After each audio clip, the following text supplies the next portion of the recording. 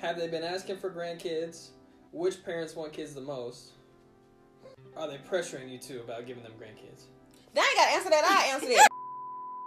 hey y'all, and welcome back to our channel. We are sitting here today with my parents to ask them some questions that you guys wanted to know. This video is so overdue. Yeah. If you scroll and look on our community tab and scroll down, I asked y'all to submit questions to us over a year ago. Wow. So my bad. We here now. So without further ado, let's just get into these questions. Do, do you want to let your folks introduce themselves? Or? Oh yeah, Mama, Daddy. I'm Ursula Thomas. Hi, I'm Jim Thomas. Y'all want to plug anything? Of course, you can always check me out on Instagram at Find Your Fashion with Me. And also, I have my own YouTube channel. It's just Ursula Thomas. I am an avid thrifter, and I'm good at what I do. And then they also have a, a channel together where they talk about marriage and life and and you know being married thirty plus years and how to keep it strong and, and fun and fresh and all that kind of stuff. So So good stuff. Okay, first question. Um, what did y'all think of me when y'all first met me? Ooh, that been so long. tell the tell the truth. We we transparent on this channel. Tell the truth. Don't hold nothing back. Oh my gosh, that been years and years ago. The first time I actually remember seeing John was uh, my sister was actually down. It was Thanksgiving or Christmas. Thanksgiving. Thanksgiving. Uh huh. And uh, I kid you not, he like he weighed about eighty pounds, and he had. They say it wasn't, but it was just certain haircut cut was kind of slanted that way. And when he walked in the door, I remember thinking, okay, this interesting. and uh Different from what you were, were used to? definitely expected? different, definitely different because uh Jená had been an athlete since she was little, so you know, of course, we automatically assumed that she would automatically, you know, end up with an athlete. So I I knew he wasn't an athlete when I first saw him, but um, I don't think I had any crazy wild thoughts. I just thought, you know, this is interesting. We'll see what happened with this. Of course, I didn't think anything was going to happen with it, but we'll see. We, we, we'll see what's going to happen. Daddy, what'd you think? Um, when I first seen John, I said, "Ooh, he's white." I mean, Okay. like, like it just not like white, white, white, but he's white, you know. And um, I guess just you know, being around a lot of white athletes, it didn't take me for a shock. Um, Okay. And especially uh, going to a predominant white school, it didn't take me for a big shock. Okay. Hmm. There's a, there's a few questions a- around this topic, so I'm just gonna lump them all into one. Okay. Have they been asking for grandkids? Which parents want kids the most? Are they pressuring you too about giving them grandkids? They ain't gotta answer that. I answer that. Pressure, uh, pro replay, uh, uh, CPR, one, two, three, one, two, three, four, compressions. Um, yes, all that pressure, compressions. Yeah, I, I feel like that's I don't know if it's the black community or not, or if it's just like a, a few parents that I've known that have been black that have said it. But I feel like the second a couple gets married in the black community, it's like, all right, where are my grandbabies? Well, I know that to be true for uh for my Nigerian friend. Like one of one of her um spouses relatives prayed for triplets at the at the wedding. Oh, so, uh, yeah, pressure. Wow. Well, I'm not praying for triplets, but you know, I just I I want to be young and and just be able to play and and just absorb all the goodness. I only have one grandbaby. She 15, and so the little, About to be sixteen. yeah. No, no, she about to be 15. She- Oh yeah, yeah, yeah, yeah, yeah, yeah, yeah. About to be fifteen. Yeah, and mm-hmm. so the little cuddling and the little juicy legs, you know, all that's gone. So you know. She she still got used to legs. Yeah, but I can't hold her and rock her and spoil her. Not in my lap and just holding her and all that good Yeah, stuff. yeah, yeah, yeah. Y'all think one or one or the two of y'all are more vocal about it? I'd say it's pretty pretty even. Yeah. Both of them drop clues, hints, tag me in posts. Yeah. Okay. Yes. Um, Definitely. Which parents were shocked at our union? I don't. Shocked. I don't think I was shocked. After I, uh, after I realized initially that I kept hearing the name a lot, and I think it was pretty much when you called and was like, "Oh my God, he tried to kiss me." I was like, "Uh oh." And then from you knew from there. Yeah, I was like, uh oh, okay, this this going on down the street. It I just stopped at the corner, Okay. and so I don't think I was just like, you know, shocked, shocked. Mhm. Now I will say this, I was scared. Okay. I will say that I was scared because living in America, you know how it is, and it's just it's so much comes with that. And so I was I didn't didn't know if they really understood the dynamics of everything that comes with that. So I was more so scared. And then especially uh, having my baby put in situations where it's predominantly or all white and she's the only little chocolate drop. That, you know, scared me a lot. And I, I could say the same here too. And um, just uh, just from my uh, background and my experience with my white counterparts, um, it, was I had a lot of questions. Um, yeah, I was very opinionated, um, and I was very strong in that in that point of um, just really gonna come to pass. Okay. Yeah, somebody else had a question that was kind of tied into this. Of uh, when was the first time y'all knew that our marriage was going to be okay? I should kind of say our relationship or our marriage. And when was the first time y'all told us y'all were proud of us? So when was the first time like y'all was like, nah, I know they're gonna be okay. Like even with us being in America and Right. you know, Well, I think they already know this because that's it was such a pivotal point. Is uh, I, it was a holiday, Fourth of July or something. I don't know, and they were now they were still really young, and they were out on the beach. Jená had went uh, boating with I think John's Sister. sister yeah, and during that time, somebody made a very derogatory type statement.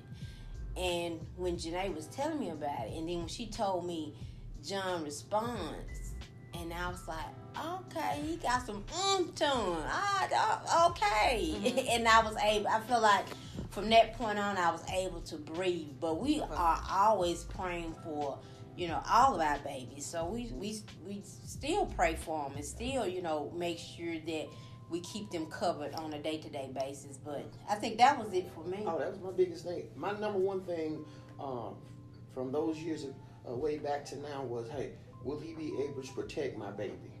And uh, with the diversity and the things that's going on in the world today, uh, that sometimes that strength has to be enhanced even even the more.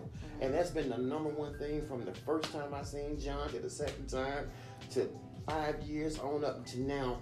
Will he have the tenacity to take care of my baby? That was it. That was it. so the second part of that question was When did they tell us they were proud of us? Or? I I honestly can't remember. I can't remember. But I'm sure I've told them multiple times, but I just can't remember the exact first time. Can you? I think um, you guys came home one weekend and John, we was on Carnival Cove. I think you know. I said, "Come take a walk with me." Mm-hmm. And you know that day we took a walk, uh, and um, I just began to share some things with you. had a few of those. And uh, and uh, I think within that within that uh, conversation, I told you, "Hey, uh, I'm very proud of you Mhm. uh, in the, in the area of becoming part of my family." Mhm. Uh, I can remember that uh, quite vividly. okay. This week's new subby shout out goes out to Just Levon. Welcome to the tribe, Levon. If you would like to be featured in a future new subby shout out, hop in the comments and let us know you're a new subscriber. Directed towards me, how is it for John meeting the parents, especially his future father in law? Dad is a big dude, he looks very intimidating to me. um, Yeah, daddy, daddy, how tall you, daddy? Five eleven three quarters. look, looks a lot bigger in person. Okay. Um, yeah, I guess I was I was nervous to meet Jená's folks, just like For what reasons? um, What was the reason? because I really liked you, and I knew that obviously you you know it was our first time doing an interethnic dating situation. You had never dated a white guy, and um, yeah, it was my first dating a time dating a black girl. So like Well, what's, under, was what's underneath it though? I think Is it was like my first time going into a black home, okay. and I'm also dating your daughter, Mm-hmm. and yeah, I, I was a, I was just nervous. You know, I wanted to put off a good, good impression on them. Mm-hmm. Um, Nervous that what though? just nervous they were gonna like me. Nervous if you know they were gonna like approve of us. Okay. Um, well, I don't even know if we were boyfriend and girlfriend at that point in time. When you first met them?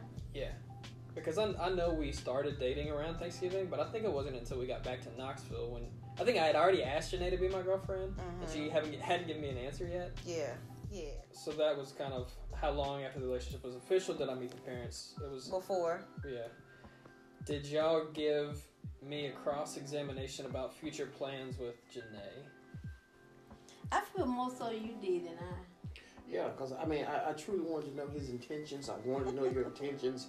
Um, I wanted to know uh, were you in, in for it the long haul.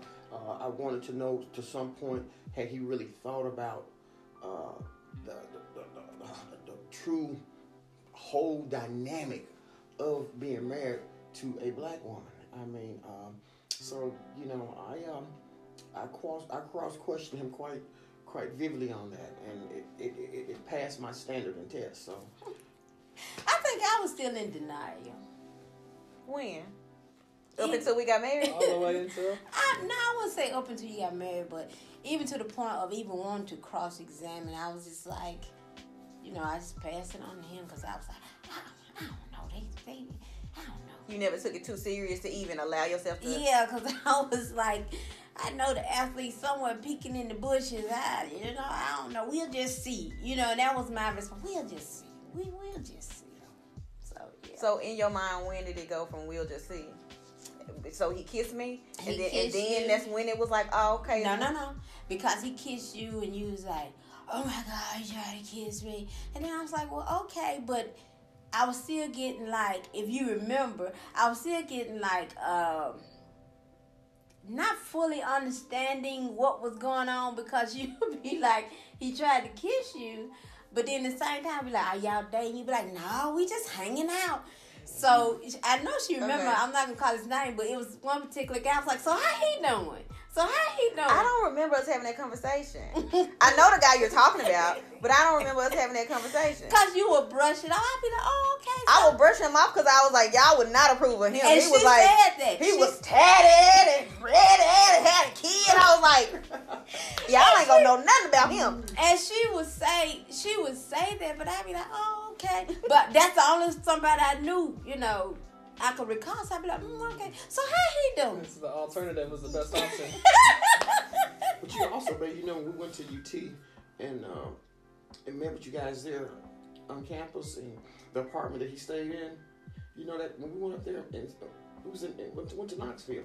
I'm trying to think. Well, now we went to Knoxville, Knoxville we uh, seen Jená. We went to Jená. I don't even think we seen John then. Mm-hmm. I don't remember seeing Am I him doing then. my graduation? He was around doing my graduation. Not the graduation, but before the graduation. You stayed in that two story. Like the roommates was downstairs and you was upstairs. The house? Yeah. Uh huh. I don't remember seeing Yeah, John. I mean that's when I knew that I got even more ease then. Oh, okay. Okay. okay. But I think after that, and then when I started hearing his name more and more and more, and then that's when I was like, okay. So no, no longer are you. Yeah, I was like, it was, it was like it was going back and back. The the prospect was Okay. going back and back. I was like, okay. So, I, when I did ask for your Jim for you know your blessing, um, was that like when it became a little bit like okay, this is serious, serious, Oh, I knew. I or what? Did you already know at that point? At- Before that point. at that point I knew because I had started hearing hearing his name too much, and then I had started seeing him a little bit more. And mm-hmm. you was all giddy and Yeah. making sure you playing this perfect birthday, this and this and that. I was like, mm-hmm. okay, so this some in- this some investing here. So Yeah. Definitely. The more and more I heard his name, it's, it just became obvious. So So even before he asked you to marry, asked you if he could marry me, you already knew. Well, see, I'm gonna tell you. At that time, I realized it was serious, and I, I realized that you know y'all was going to the next level. But right before that time, you guys broke up. So I was like, well, okay. So I started kind of pushing him back again. I was like, okay.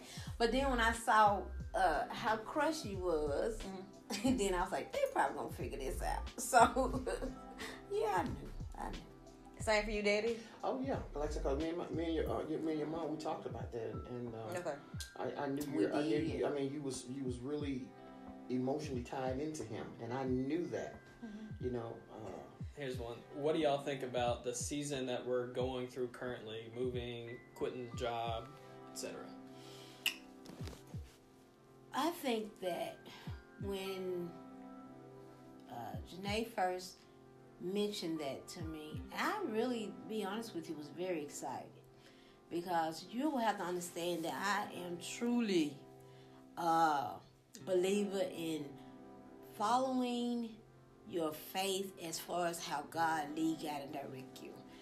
Uh, and I feel like a lot of times society has taught us what we should do as far as how long we should stay on a job and regardless of how you feel about the job you know you stay there and you this and you that me knowing who my daughter is and understanding whoever connected with her they got to have that same tenacity that she has me knowing who she is and trusting the god inside of her i was like hey go for it as far as right now i have so much so much more understanding and compassion. And I'll say this, uh, she knows that I follow her channel. I it's funny because I got on Facebook so I could make sure I could see what they was doing when I while they was off in college. YouTube, No, Facebook. Facebook. I Okay. got on Facebook so I could pay attention to what they were doing off in college.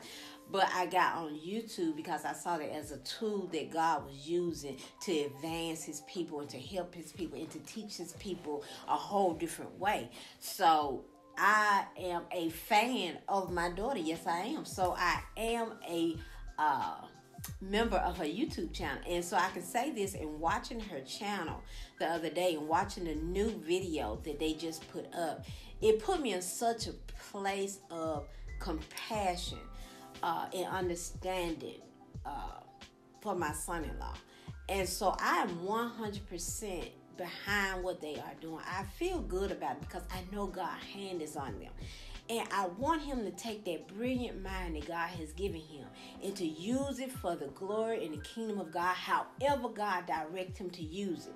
And a lot of times we stuff that out.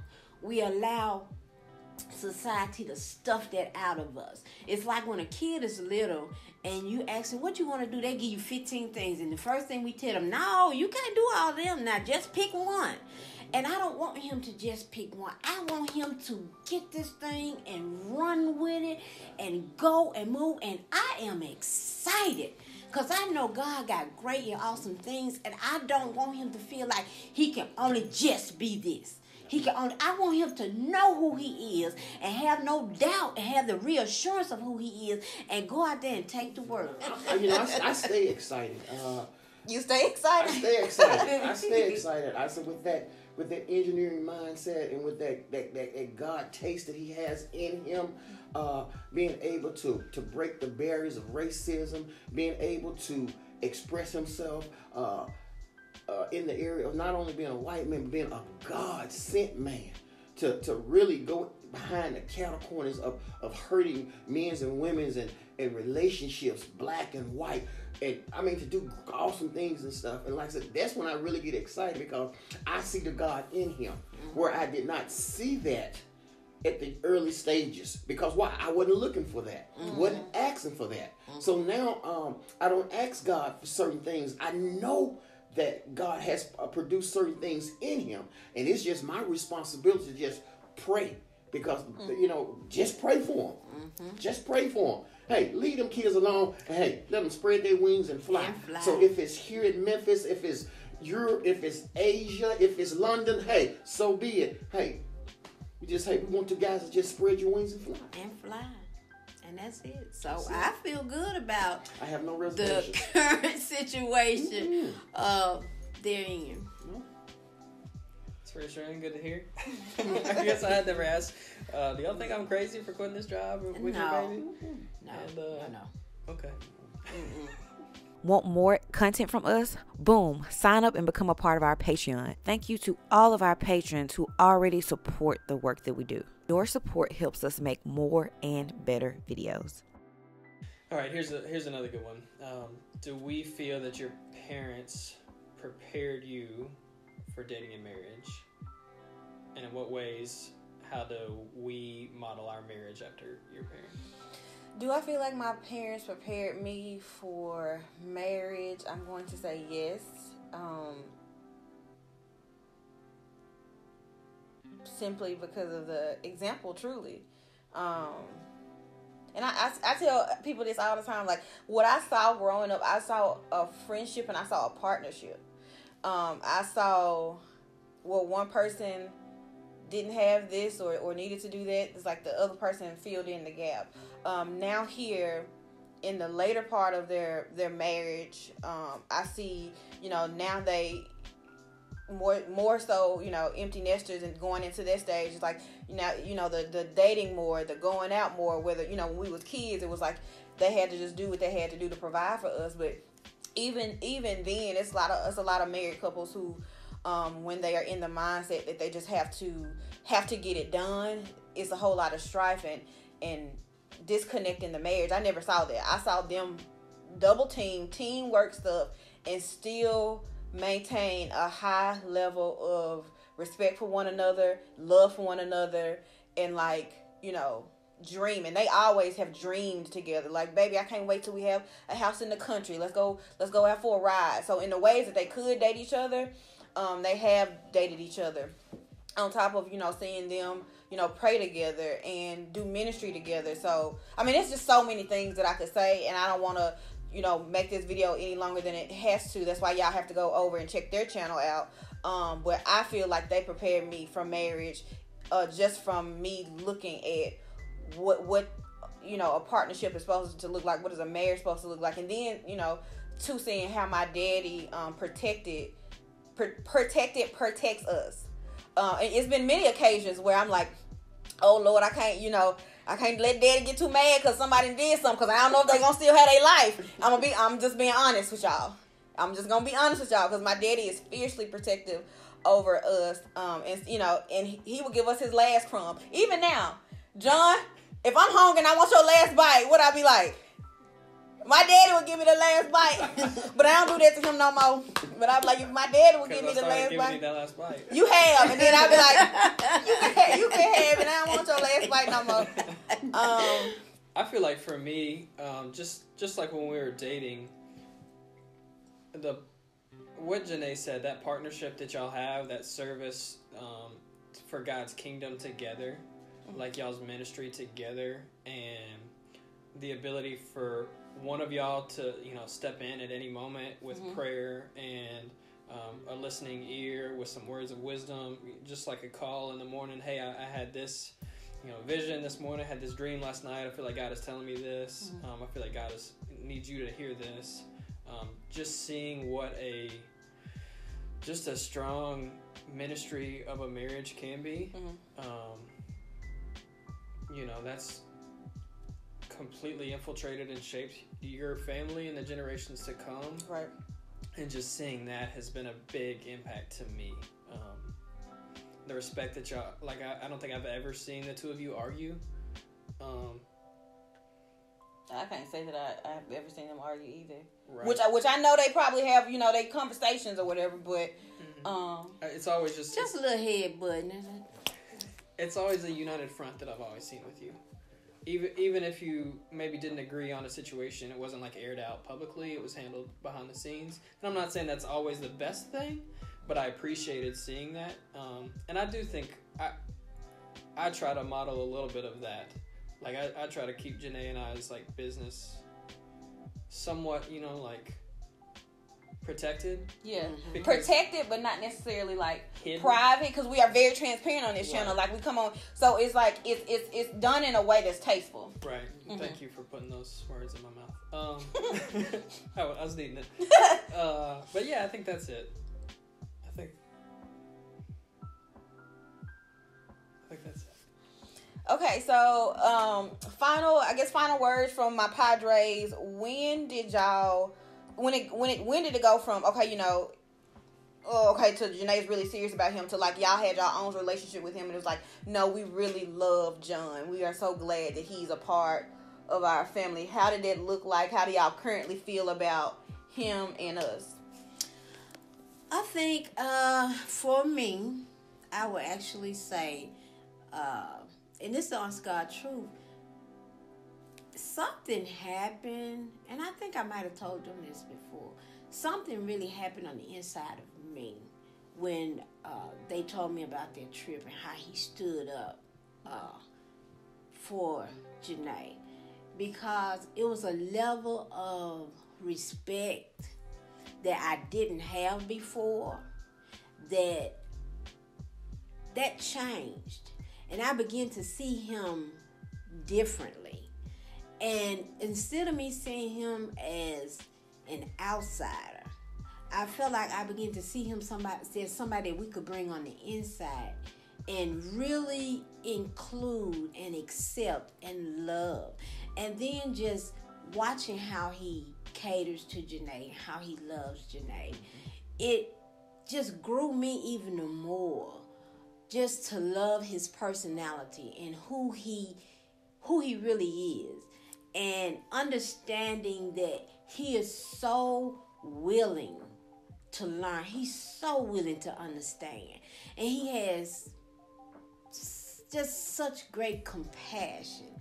I feel like for when Jená is hurting or, or when something is not going completely right, you know, he he he tickles me sometimes because it's almost like uh, Johnny fix it all. You know, I, got it. I'm, I'm gonna fix it. I'm gonna fix it. I'm gonna fix it.